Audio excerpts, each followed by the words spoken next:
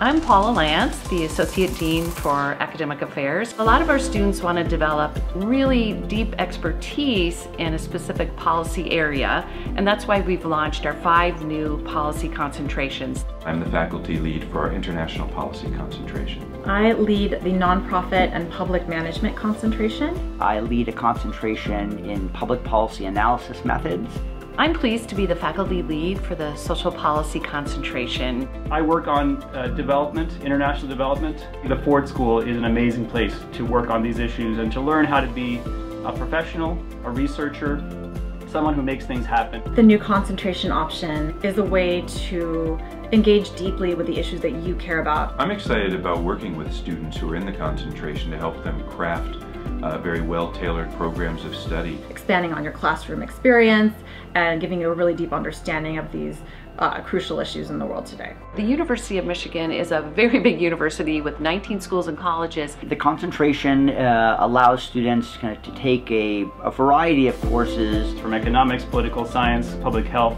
to earn their concentrations and really expand the educational experience that they're having here in Ann Arbor.